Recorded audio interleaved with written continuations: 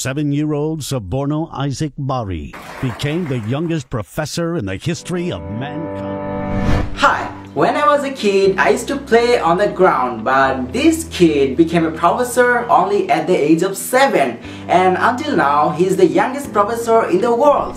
Who is he and how he became a professor in a very young age?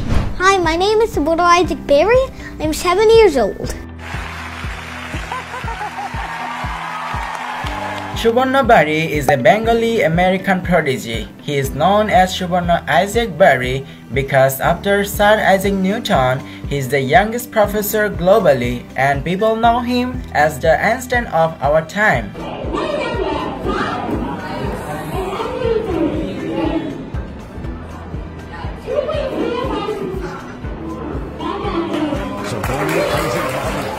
He grew up in New York City, United States of America. He is so genius that he started talking when he was only 6 months and he could solve math, physics, chemistry problems when he was only 2. Then his parents started sharing his videos on the internet. Later on, he got an invitation from Voice of America to have an interview and he is the youngest person ever to be in conversation with Voice of America. And today we're going to be looking at reflection and refraction.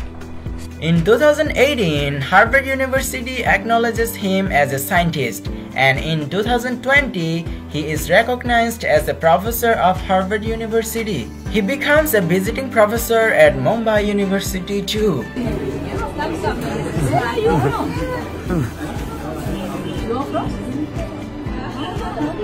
receives the Child Prodigy Award from the Nobel winner Kailash Satyarthi for his incredible efficiencies in the field of math, physics, and for the anti-terrorist campaign. He also authored a book named The Love.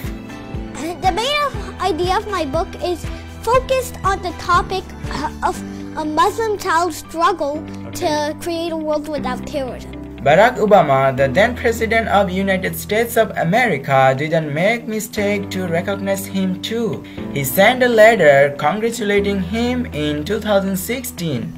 And so many renowned university professors and chancellors wrote to him so far.